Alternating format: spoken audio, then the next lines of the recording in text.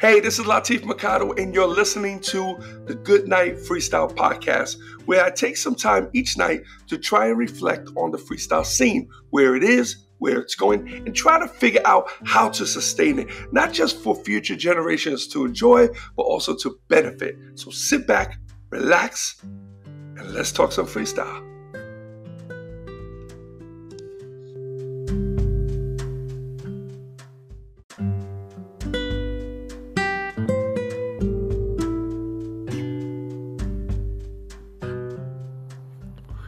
Hey, what's up, everyone? It's Latif, and welcome to the Good Night Freestyle Podcast. And this is episode 78. Um, I'm outside. It's a beautiful evening tonight, nice and cool. Um, I'm on a little earlier than usual. Uh, I just been so busy, man. I've been working on this book. I I have this deadline that I, I have to make this deadline. I will. I will. Um, it just takes a, a hell of a lot of tracking you know. But uh, it's coming out really good. I'm really excited about this book.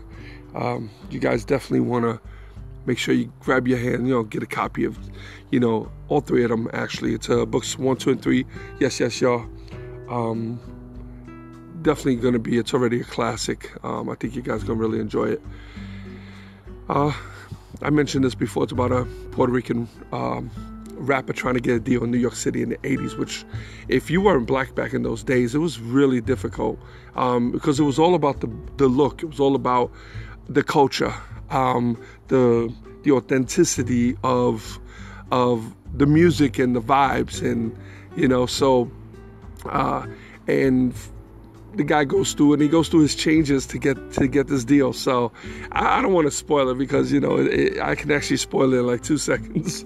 Um, but but you uh, you guys will, will pretty much uh, vibe with this, and uh, it's it's for it's not just for you know Puerto Ricans, even though the character's Puerto Rican, but a lot of you guys uh, can relate. I mean, especially if you were raised in the '80s, you probably have a got you know some pretty decent experience uh, with with all of this. So um, other than that, everything else is cool. Um, just uh, I try not to watch the news. Um, I know what's going on though, because I have a wife that watches it pretty much all day long, and I'm glad. I'm glad one of us watch it. You know, she at least gives us the heads up. Like they're talking about, they're gonna send every household a thousand dollars. I mean, that's cool. I don't know what it's gonna do, but I'm sure it's gonna help several, you know, quite a few people. Um, that's cool. I would never know it's coming. That thing would have came in the mail. I would be like, oh shit, what the hell is this? Say a thousand dollars? you know?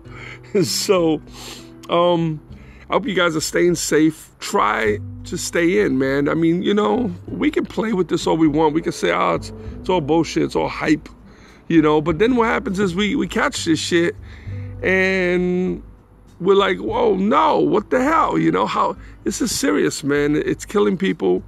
I mean, I feel like I'm in a movie. It, it's it's really uh, it's crazy. It's really nuts, and uh, I just uh, I just pray to everybody we get through this together. You know, I'm hoping that I feel bad for the people that have passed. I'm I'm hoping that it was a little bit more than just the coronavirus. Um, you know, because uh, this is crazy. It's it's it's pretty it's pretty bad. You know, there's like you know I'm looking around. It's like how is how's everybody surviving? Like what's going on? You know, businesses are closing. Schools are now talking about closing for the rest of the year. That's crazy. You know? Um, I understand it though. I'm not saying, oh, they shouldn't close the schools. Oh, hell no. Kids, keep our kids safe, man. You know? Um, a little worried about my daughter, you know? Um, of course, my kids, both my kids, but my daughter, because she's uh, in Europe in Germany, and she works in the hospital in the morning. She's in the army, so I'm hoping that you know if anybody's safe, I'm hoping that she's safe. I'm hoping that they're on their game, you know. And God forbid if something does strike, you know, she's already in the hospital.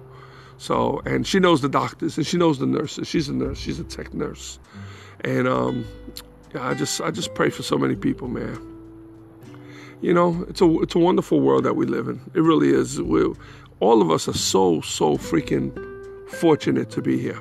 It's it's incredible. It's you know you guys got to realize, man. Like I've heard someone say this once before, and, they, and, it, and it, it makes so much sense, man. You know, your parents had sex, and there's like a billion freaking sperm cells, and that one sperm cell that fights that fights to make it to the egg and makes the egg, and the egg hatches, and that was you. That was you. One in a billion. You're here. How crazy is that, huh? I bet you know, but you never thought about it like that. But it's true. You know what? What gives us that that privilege to be on this earth? What what is it? Why are we here? What is it that we have to do? You know? I mean, people say, "Oh, you have to. You're here to praise God and to preach the gospel and to do." The, um, I'm a huge. I have a lot of faith, man. I'm a huge believer in the Almighty. No joke. But I don't believe that that's all we're here for. They say everything, everything is here servant to God, and I believe that. Everything bows. Everything bows to God. Think about it.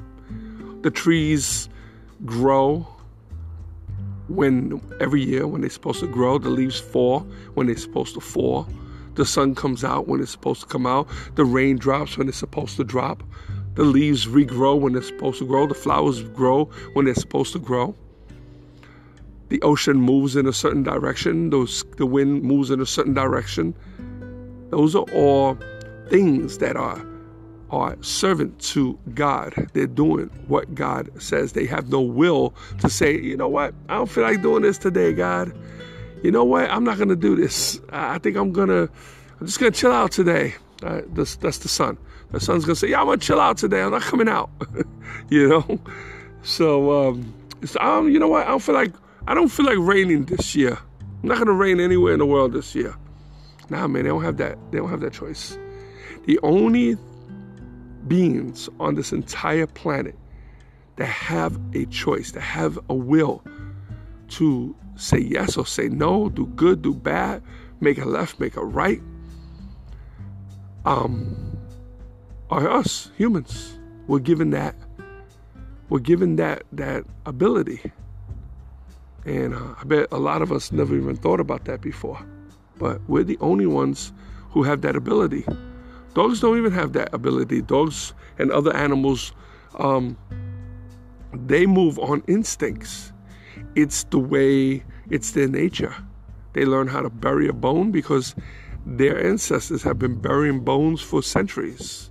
You know, they learn, birds learn how to make a nest. They didn't read a manual, it's instinct.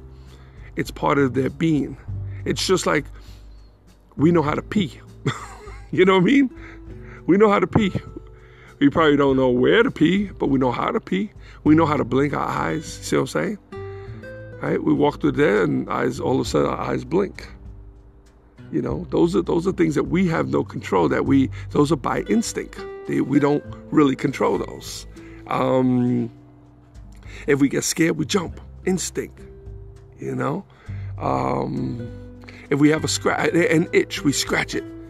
That's instinct. who tells us to scratch it? You know, we could just be standing there and all of a sudden the itch comes on and we go crazy. We're like, what the hell is this? What am I doing? But no, we know how to reach over and scratch it. Or for us fat guys, man, we go up against the wall and scratch our back. but um but those are instinct. But other than that, you know, everything else we have the right, we have the ability to choose. And it's wonderful. So we are extremely fortunate in so many ways. And you know, with tragedy now, I don't have any tragedy currently in my family, and I pray that I don't, and I pray that none of you do either. And when it does happen, you know, I'm probably the first one that's going to be a mess. But now that this is not the situation for me, I can I can understand. I can understand, you know, you know, how to be grateful and how to, you know, how to kind of look at the world and look at everything and, and, just realize that we're here for a very short period of time. You know, most of us won't even make it to 100. Most of us. A lot of us nowadays can make it to 80. That's becoming pretty, um, pretty common. 80 is a pretty decent number for a lot of people. Um, definitely 70s. A lot of people, may, even people that don't even take care of themselves, are living to 70. You know, I know, I know several, you know, who are living to 70 and they they they really don't take care of themselves at all. You know, um, but you know, it's a short period of time that we're here. So what do we do? What do we do while we're here? You know, family's always number one. You know, it's it's you know the family unit is an incredible, incredible gift that has been given to us. Think about it. Really, really think. Think of the connection that you have with your family members, with your kids and grandkids, with your parents, your, your siblings. Think about that connection. Think about how devastated you would feel if something happened to them. However, a friend or a neighbor, yeah, you'll be sad. Probably really sad. But you there's a good chance you're not gonna lose your mind. However, a family member, especially an immediate family member, oh, yeah, a lot of people. There's some people that take themselves out because of it. That's a very special connection. What's the purpose of it? You understand? It's like a tribe, man. It's like, you know. So when people say family or they consider you family, that when people say family, that's what I think about. You know, I got people that are like family, but when I really, really dig deep down inside, they're not quite family. I'll be extremely sad um, if something would happen to them. And they'll probably feel the same way with me, but I don't think I would lose my mind. Not like if it was my family. I have a friend of mine that was uh, Webmaster Dave. A lot of you guys remember him.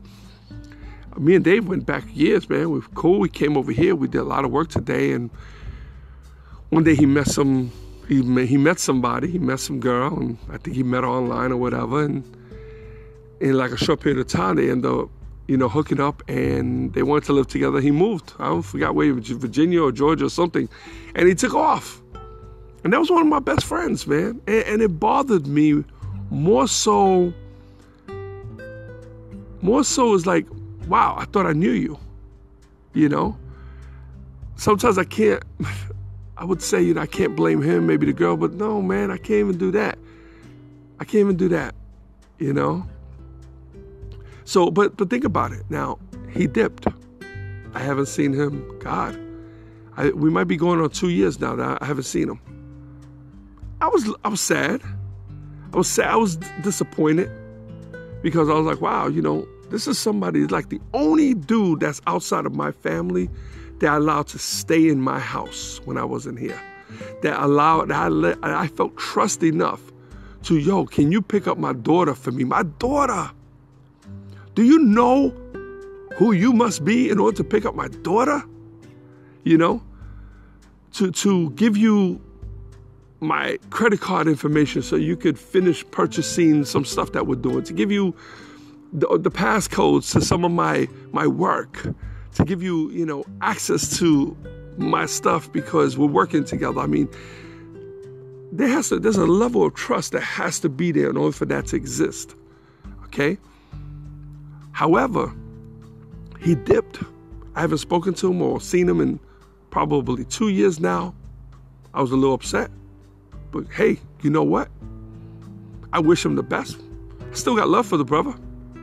But if I never see him again, oh well. Good luck, man. Good luck. Maybe we'll run across each other's uh, path sometime. However, now if this was my family, if this was my son or my daughter or my wife or my my my grandkids or my nephew Eddie or any and they did something like that, I would lose my mind. I would totally lose my mind. I would have to go look for them. Now, if it's an uncle, like a distant relative, okay, well, whatever, man, good luck. But I'm talking about my immediate, my my immediate family. You know, my immediate family to me consists of my brothers and sisters and my nephew and nieces. You know, that's that's that's the that it stops pretty much there. You know, yeah, they're kids too, but they can handle their kids. You know, I have to I have to draw a line at some point. So I leave it at that. Never, of course, never wish anything bad on anyone's children. But what I'm saying is that they're gonna live their life You know, just like with my kids, if my my uncles didn't see them again or whatever, you know, they're like, okay, well, they're probably doing well. you know, they're living their life. You know, but I'm talking about mm, you know my immediate family. You know, I need to know where they're at at all times. I need to have a connection with them. I don't need to speak to them every day. I don't need to be up in their house. They don't need to be up in my house, but I need to know they're there, you know? So, but, um, you know, it's very important, very important to me. But, you know, these are the things, you know, you know, times like this that we're going, you know, with what we're going through with this whole coronavirus, you know, this, these are the things that I start to think about. Now, I could be the only psycho thinking about this stuff, you know, start thinking about, you know, why are we here, our purpose, and how easy it is for this earth, or at the very least this country, to totally go upside down. Like, like shit could just, I mean, it could be real bad. You think scientists can't create a virus that can spread and clear this country in just a few, maybe a, month or a few weeks? Uh, of course they could do that. Of course they could. You know? It's called chemical warfare. So, you know, I, I believe all that. I believe that that can happen. I pray that that doesn't happen in my generation or any generation that I'm attached to right now, you know, which includes my kids and grandkids. You know? After that, I have no, there's nothing, I'm not going to know them. So it won't affect me at all. You know, do I want to see any of that happen to anybody? No, absolutely not. But it's hard to sympathize for people who don't exist right now, you know. But um, but yeah, so that's that's uh, yeah, that's, that's what's been going through my my head lately, you know. And um, I don't talk to too many people about it. I talk to you guys on the podcast about it, but you guys never answer me back. So, but uh, uh, it's just some of the things that, you know, remember what I told you, man, every night, man, I have these thoughts that go through my head and I kind of just want to let them out. You know, this podcast though says it's good night freestyle because most of you guys are into freestyle. You're either fans or um, you know me or we're, we're, somehow connected to that genre.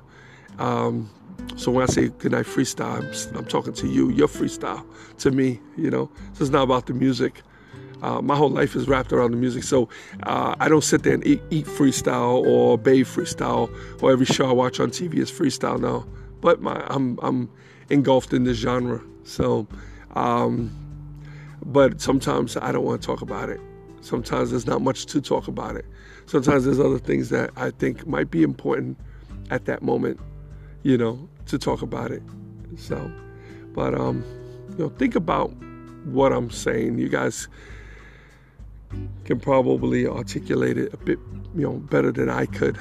Um, and uh, you know, just realize that you know we're, we're pretty blessed, even with all this that's going on. We're we're, we're pretty blessed. Yeah, I, mentioned the other day. I think it was yesterday. each one of us is like our own book. It's like a library. You can have all those thousands of books. Of those books are the same. That's us, man. We're all these different books. We have our own stories inside we have a certain amount of chapters. The chapters can represent our life, how many years we're on this earth, you know, or our milestones, or you know, things that, you know, you know, what what what what consists of a chapter in your life? Is it, you know, your ages as you go, or is it through milestones, or through accomplishments, or through stages like okay so i graduated boom milestone okay. Uh, i got married boom milestone okay cool. I had my first kid boom milestone. Oh i had my grandchild boom. Oh i started business boom you know.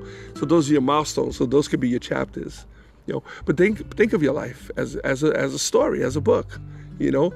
Um, and if you take from this point on because remember anybody who's going through shit right now that you've probably been through worse already you probably have been through worse, okay? And think about how you feel right now. Now you look back. And sometimes you look back and you realize those situations, you're like, wow, I never thought I would overcome that. I never thought, but now you can actually, it becomes a part of you.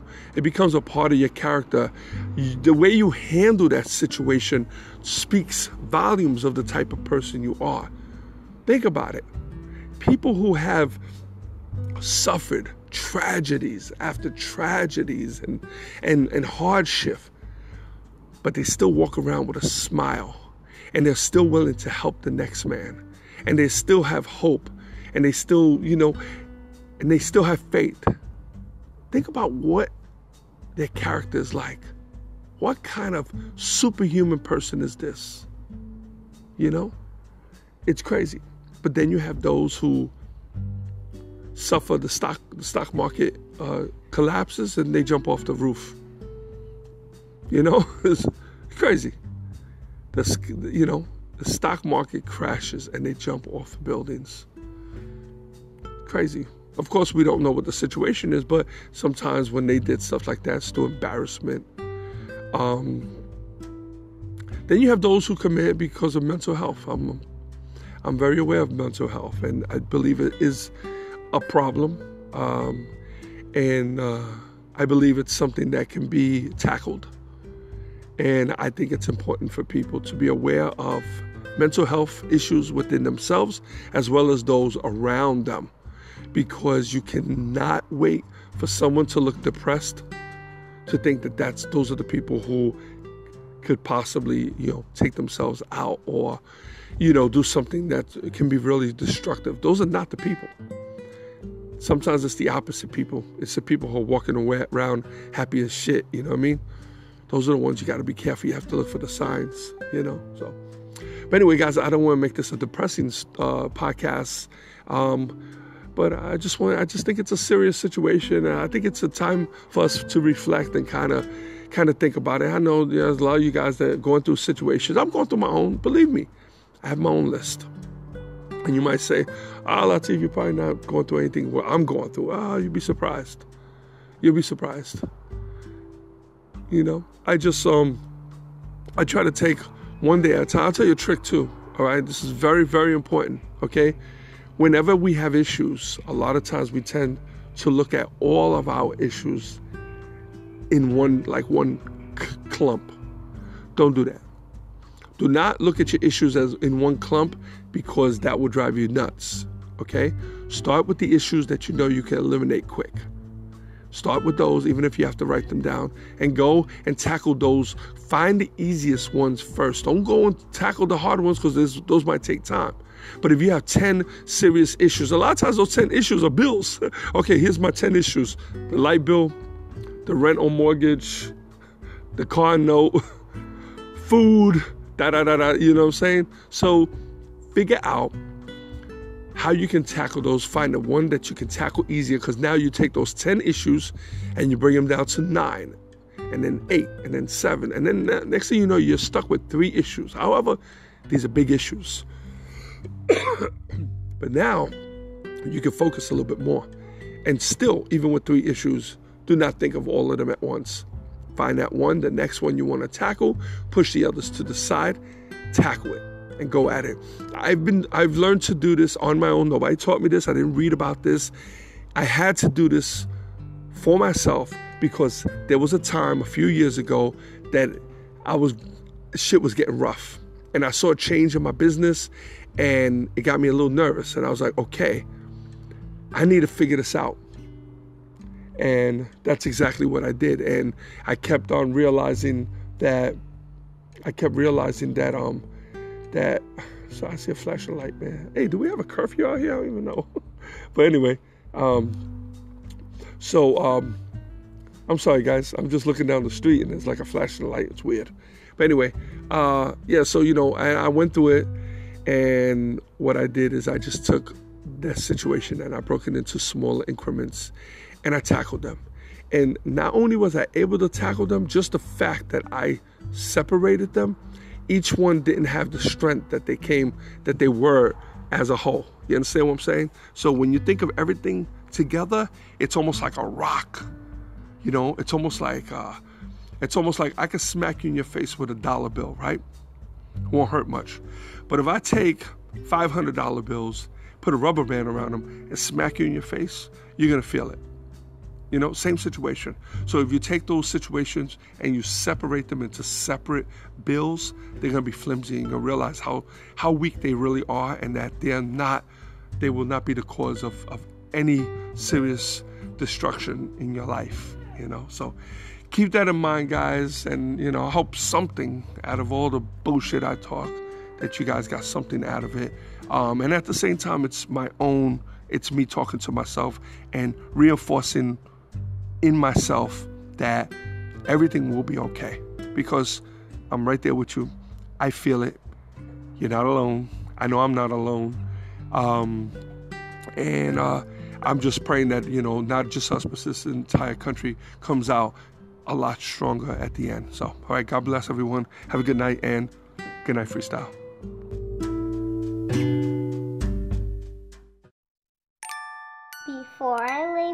To sleep, I pray to hear a freestyle beat. For if I die before I wake, I hope to make it to the break.